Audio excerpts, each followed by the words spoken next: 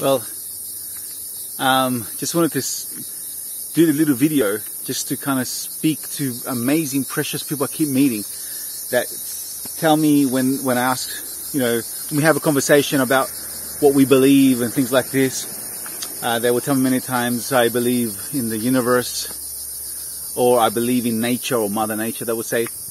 And so I wanted to make this video for you, just to give you a piece of the puzzle to put it all together and just to hope you're open-minded um, and you won't close your mind to listening to uh, what I will say, and then you know ponder it, take it or leave it, but just uh, just give you something, maybe uh, an angle you didn't see or maybe dismissed.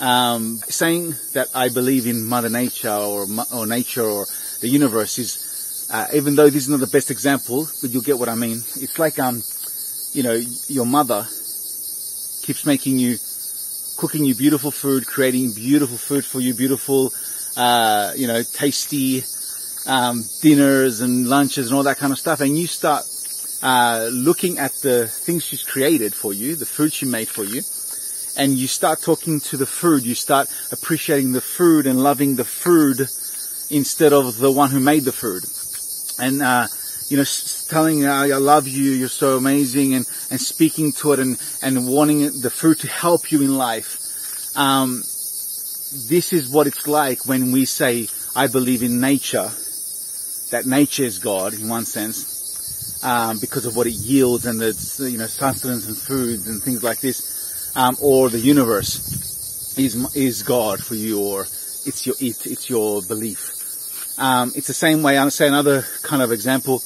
that you really admire this artistic piece, like it could be a statue, it could be um, a painting. Uh, it's just beautiful, it's amazing, uh, and you start again talking to the painting. You start um, telling the painting how much you appreciate it, and you ask it to help you in life and guide you in life. Um, but you deny and reject to, uh, or even not think to look towards uh, the painter which is the one who it's be- this beauty that he created is coming out of him and that's what you see in the painting just a, an aspect a little piece of how beautiful the painter is or how amazing the mother is that's actually cooking the food. And it's the same way with god. We keep i keep hearing this thing about you know uh, again precious people that say i believe in nature i believe in the universe i don't believe in god. Um, it's exactly the same way, saying I, I, believe in the food, I love the food, I, the food takes care of me, I believe in the universe, uh, the painting, the statue, it takes care of me, but I don't believe in the painter, I don't believe in the artist, I don't believe in uh, the chef or the cook that cooked me the food. It doesn't make sense. And the reality is, is God wants you to believe in Him. God wants you to know Him. I, I want you to uh, believe in the one who created the universe. I want you to believe in the one who created nature. He is beautiful. He, you, love the things he made because he is so loving. He's so lovable. He's so beautiful. You're one of his creations. You're one of his art pieces. And he loves you so much and he wants you to have a relationship with him. And he wants you to know his name. Uh, and it's because it's, it's, a closer, intimate relationship when you know someone's name instead of calling someone sir or it or universe or nature. When you know his name, then it goes to another level, the relationship, and that's what uh, God wants you to know. He wants you to know his name. He wants you to know the one who created this universe that you love and this nature that you love. And his name is Jesus. Now, please don't shut off. Don't close your mind to what I'm about to say. Many times we do, and some, many times we don't want to hear this section of things when we say Jesus because we think of the religious institution. We think of uh, stories we've heard from priests, uh, about priests, about pastors, about churches that have done the wrong thing, about countries that have gone to war saying they are Christians and it was in Jesus' name that they did the war. Um, but that's not God's fault. What people have done in God's name, what people have done in Jesus' name, what churches have done, what pastors have done, priests have done, is not God's fault. You read the Bible to find out. You read what Jesus says, love your enemy, pray for those who despitefully use you and persecute you, forgive people.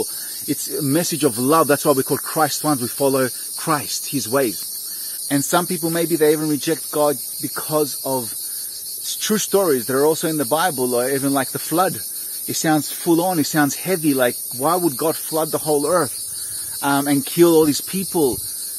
And I will say this to you: from knowing God, from being in a relationship with God, not just believing about Him and not just reading about Him, but really having an intimate relationship with God, getting to know Him daily, speaking to Him, allowing Him to speak into my life, transforming me, using me, and and giving me life. Um, knowing Him, who is the most merciful, the most patient, who is love himself, but he is also just. He's also holy. If he is willing and was willing to do the things like that, like the flood, after all the things he's seen, after the things he hears from people, the patience he's had with them, um, waiting for them to change, the things that he sees that they will do because he sees the end from the beginning, because he sees all things. He knows the intentions of our hearts. He knows the motives of why we do things and say things. He knows the things that nobody knows about. If this God who is patient and merciful and good and loving and holy and righteous and just came to the point where he was willing to do a flood and other things that it says in the Bible, I know for me personally that as humans, we would have done what he did a long earlier than he did it we would have wanted to do a lot worse than what he did. This is how I'm getting to know God who is so merciful, so patient, so good. If he's willing to go that far, wow, he must have seen some things that, like I said, we would have broke a lot quicker than what he did. And that's why, yes, there is some things that I don't understand about God, but I don't uh, judge him and deny him and reject him because I don't understand him. It's like me uh, seeing an action of what you did, reading about an action of what you did at some time in your life. I don't even know your heart. I don't even know your motive of your heart. I don't know what you've seen or, or heard or whatever. And then I start judging you and condemning you and claiming that your heart is evil, saying you're so bad and so evil for what you did and all that kind of stuff because you might, might have responded. You might have responded to somebody in a, in a harsh way, no matter what that level was. But when I looked at it, I judge you from the outside, but I don't even know your heart. In the same way, we do this to God. And that's what's going on. Many people have rejected God because of looking from the outside or reading the story, but not knowing Him.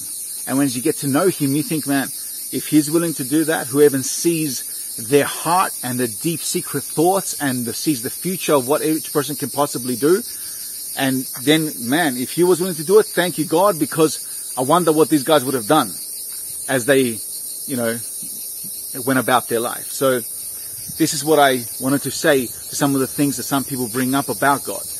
And like I said before, He wants you to know Him. He wants you to know His name, and His name is Jesus.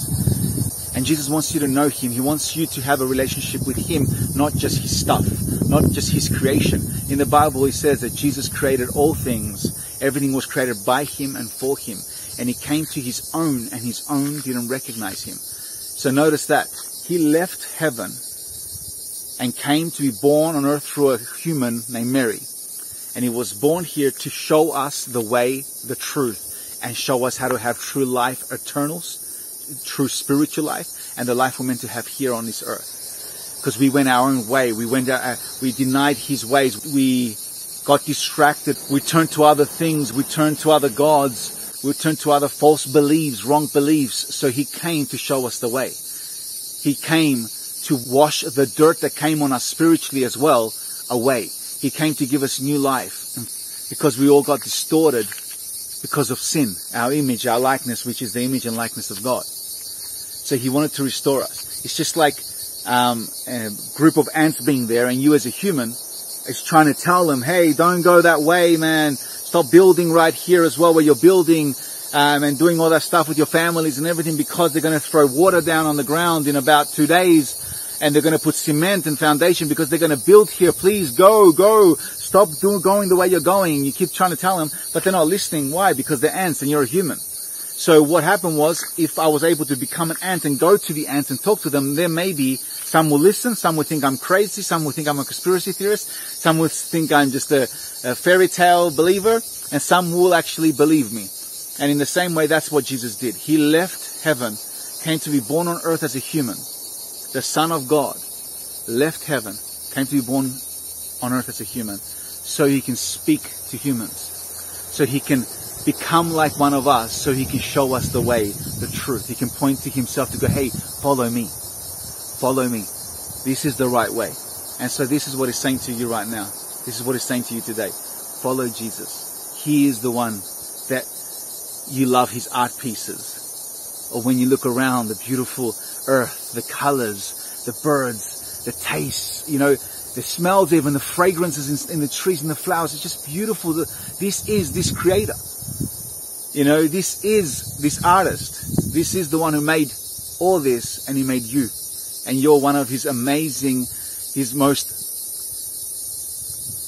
precious art pieces, us people. So I would encourage you, please, I hope you'll be open-minded and relook at some things and relook at why are you denying him? Why did you not accept God? Why didn't you not accept Jesus and you went towards universe and nature?